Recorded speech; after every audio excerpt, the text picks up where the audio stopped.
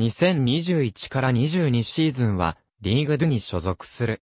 1902年に US クビーとして設立。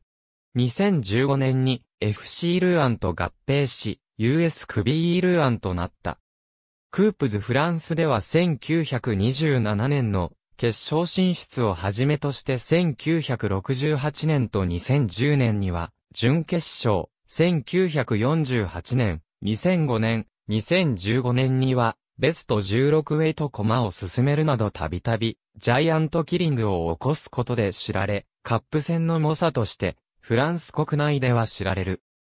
そして2012年にもベスト32でアンジェ SCO 準々決勝でオリンピックマルセイユ準決勝でスタッドレンヌなどの上位クラブを次々と打ち破る快進撃を見せ、85年ぶりにファイナリストとして3度2の舞台に立ったものの、1968年の準々決勝時には1から0で勝った因縁の相手で、あるオリンピックリオンの前に今度は逆に0から1で、敗れ初優勝はならなかった。